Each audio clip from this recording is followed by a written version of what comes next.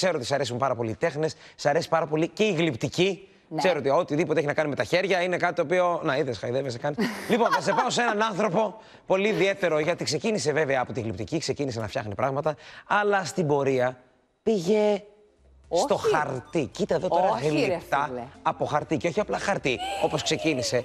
Το εξέλιξε και έκανε χαρτί ακορντεόν που λέμε. Τύπου Ε, πρες παπιέ, πώς τα λέγαμε αυτά τα χαρτιά τα που ήταν.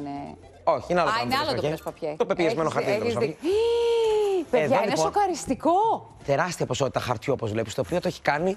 Είναι ένα φύλλο πάνω από το άλλο, ενωμένο όλο ενιαίο και το κάνει σαν ακορντεόν. Και με αυτόν τον τρόπο λοιπόν ο Φελίξ Σέμπερ, που είναι 57 χρονών στην Καρολίνα στις Ηνωμένες Πολιτείες, έγινε λοιπόν ένας άνθρωπος ο οποίος από τα γλυπτά που έφτιαχνε από πυλό και μετά από χαρτί το έκανε ακορντεόν. Καλά, είναι καταπληκτικό όμως, έτσι.